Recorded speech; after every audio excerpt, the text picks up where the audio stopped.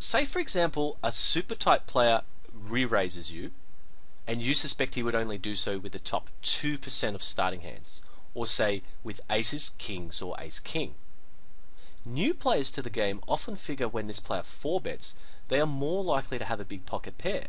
After all, both aces and kings are part of their range compared to the single holding of an unpaired ace king hand.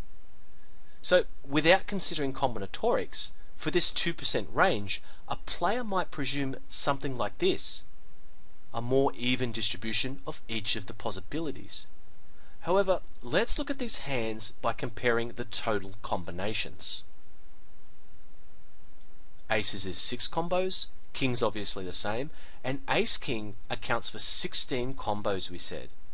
So we can see there are plenty more Ace King hands in this player's range than the big pairs.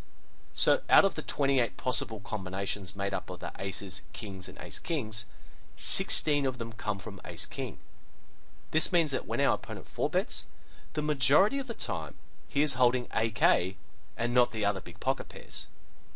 Here's another look at how we can use combinatorics. Say a tight player raises UTG and you call on the button with a speculative 8-9 suited. The flop comes 4-8-9 all spades. Obviously quite a good flop, but our tight opponent C bets into us. How likely is he to have a flush here? How worried should we be exactly? Well, since our opponent is tight and has opened UTG, let's say he opens Ace Jack up, King Queen, and Pocket Eights and up. Most of the time when you solve for problems like this, you want to group villain's holdings. So let's work with the pairs first. We're beating th tens through to the aces, the overpair hands. So that's six combinations of pairs, remember. So that's tens, jacks, queens, kings, aces, all multiplied by six. So five pairs times six combinations is 30 combinations of pairs he can have.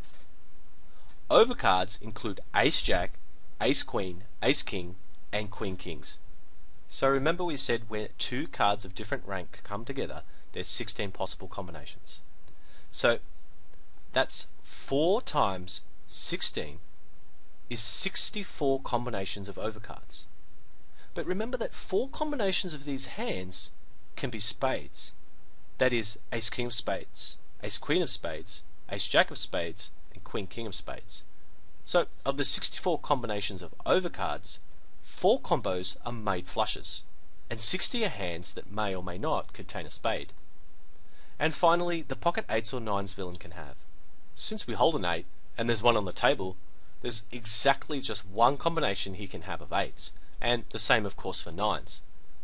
So there's two combinations of sets, and four combinations of flushes to be worried about. That's it. And we have assigned villain 96 combinations of hands, and only 6 beat us. Presuming villain always continuation bets on this board, which generally players do on monotone boards like this, that's only around a 6% chance we're behind. Time to go for some value and also protect our hand. So, in situations like this, remember, it's going to be more likely your opponent holds something other than a flush, like an overpair or a single flush drawing high card. In fact, how often would he flop a flush in this spot? Well, using the same combinations formula, we can work this out. Firstly, let's work out the number of possible flops.